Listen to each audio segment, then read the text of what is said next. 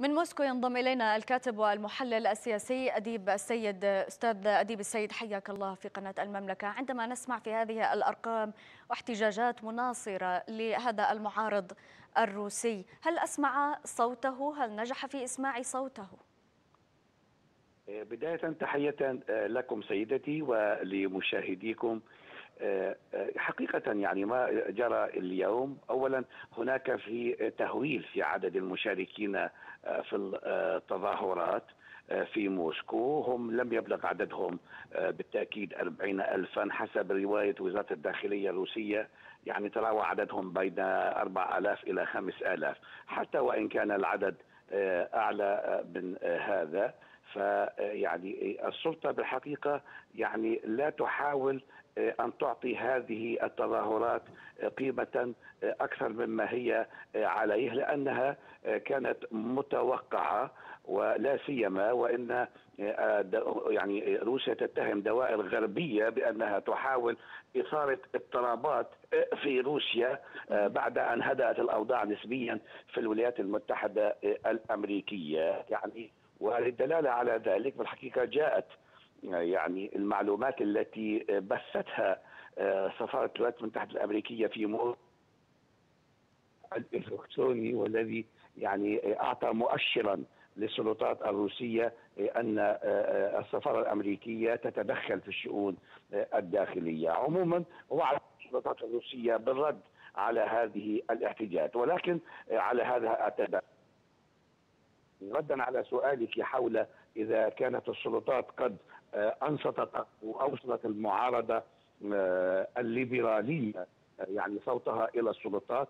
يعني بالحقيقة هناك أجزاء شرائح واسعة من المعارضة في روسيا. أقلها شأنا بالحقيقة هي المعارضة الليبرالية. فكما تعلمين هناك معارضة يسارية قوية في روسيا ممثلة في البرلمان وهناك معارضة قومية أيضا ممثلة في البرلمان ولكن الأحزاب الليبرالية على اجتماعات على اجتماعها وبكل كثافها لم تحصل في الانتخابات البرلمانية السابقة على أكثر من ثلاثة ونصف بالمئة من الأصوات. بعيدا عن الأرقام أستاذ أديب السيد عندما نتحدث بأنه كما قلت بأنه الصوت الرسمي الروسي لا يعطي قيمة لهذه الاحتجاجات والدليل بأنه تحدثوا عن بأنه كانت الاعتقالات أو ربما الاحتجاجات أعدادها أربعة ألاف بينما الوكالات الدولية جميعها قالت أو الأغلب قال بأنه حجم الاحتجاجات وصل أو ناهز الأربعين ألف. أين صوت الحرية والتعبير؟ إذا حتى لو كان أربع ألاف أو حتى لو كان أربعين ألف لماذا هذه الاعتقالات؟ غير نافالني هناك اعتقالات كبيرة بحجم من يعبرون بحرية عن آرائهم. حسنا بجانب بجانب ما ذكرتيه حضرتك حول حرية التعبير عن الرأي هناك أيضا قوانين تسنها الدولة ويجب التمسك بها. اولا روسيا تعاني من تفشي لفيروس كوفيد 19 وبالتالي هناك بالحقيقة حظر على التجمعات الجماهيرية والتي تساعد في تفشي هذا المرض. هذا اولا.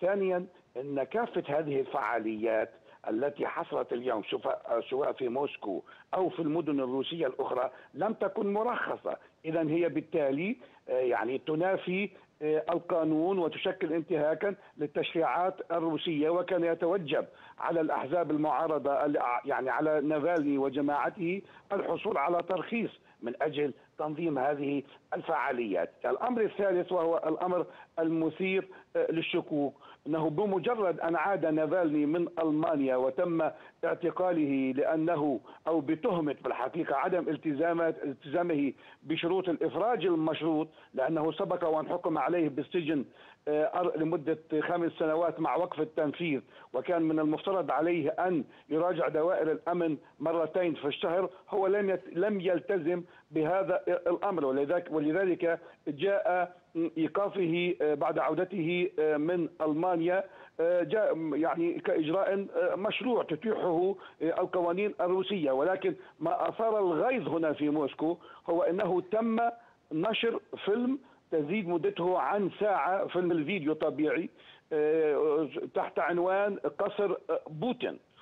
يعني الرئاسة الروسية وصفت بهذا بهذا الفيلم بأنه مختلق تماما وينا وينافي كل الوقائع وأنه لا علاقة لبوتين بهذا القصر وبكل المعلومات الواردة في هذا الفيلم. هناك شكوك روسية بأن دوائر غربية كانت وراء تأليف هذه القصة وبالتالي تعمد نشرها في في روسيا مع بداية أو بالتزامن مع عودة نافالني مما يعني أثار آه، آه، قلقا أو غيظا لدى السلطات الروسية التي ترى وكانت تتحسب لأن الدوائر الغربية سوف تقوم بتصعيد آه، تدخلها في الشؤون الروسية، صحيح أن بعض مطالب الشارع الروسية ربما تكون محقة من الناحية الاقتصادية والاجتماعية ولكن ما يجري حقيقة هو أن السلطات الروسية تحاول جهدها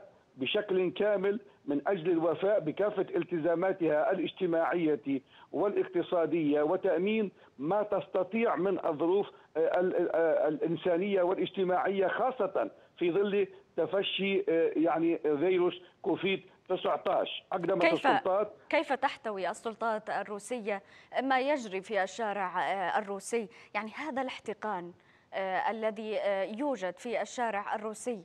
بصرف النظر عن الأرقام بأربع آلاف أو أربعين ألف لنقل لكن عندما يأتي هذا الرقم في الشارع الروسي محتقنا مطالبا وقلت بأنه بعض المطالبات لربما تكون صحيحة ولكن خرج واعتبر نافالني هو رمزية لمجموعة من المشاكل يعني ألا يجب أن يكون حريا بالسلطات الروسية الاحتواء الفكري بدل هذا الاحتواء الأمني والعسكري؟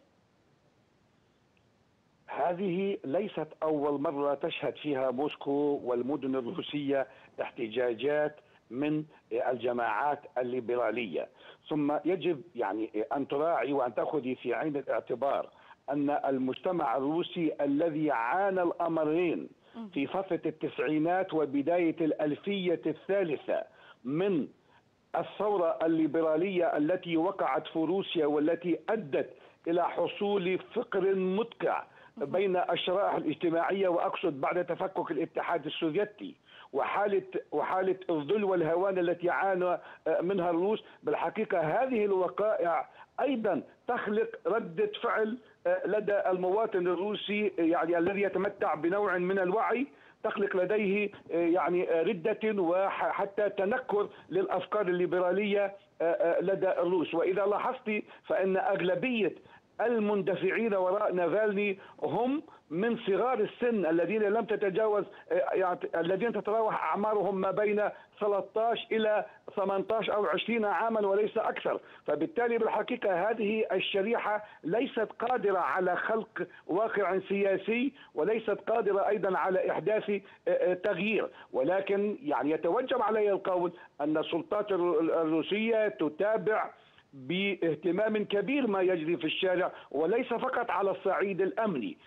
يعني الإجراءات الأمنية كان يعني كان هدفها بالدرجة الأولى الحيلولة دون وقوع استفزازات ربما تؤدي إلى حوادث ذات آه، طابع آه، دموي أو شيء من هذا القبيل أو صدامات يعني عنيفة بين قوات الأمن والمتظاهرين. فبالتالي فبالتالي الوجود الأمني كان مبررا والوضع كان يستدعي ذلك. ولكن دعيني فقط أذكر أن في عام 2012 كانت التظاهرات أكثر شدة وأكثر يعني بأسا وكان هناك صدامات ما بين القوات قوات الأمن والمتظاهرين وبالتالي انتهت إلى لا شيء. إذا كان نافالني والقوى الليبرالية يعتقدون أن وراءهم قوى وشرائح اجتماعية مؤثرة فالعام القادم سيشهد انتخابات برلمانية في روسيا وبإمكانهم الدخول إلى ساحة المعترك الانتخابي ولكن نعم. بالحقيقة الشعب الروسي لم يفهم أو دعيني أقول أن القوى الليبرالية لم تستطع حتى الآن على اختلاف مشاربها أن تخلق أن توجه خطابا واعيا يلامس مشاعر الشارع الروسي واهتماماته وهمومه نعم. وبالتالي كانت على الدوام تفشل في الحصول أو حتى في في الحصول على نسبة تؤهلها بتخطي العتبة نعم. البرلمانية. من موسكو الكاتب والمحلل السياسي أديب السيد شكرا جزيلا لحضرتك.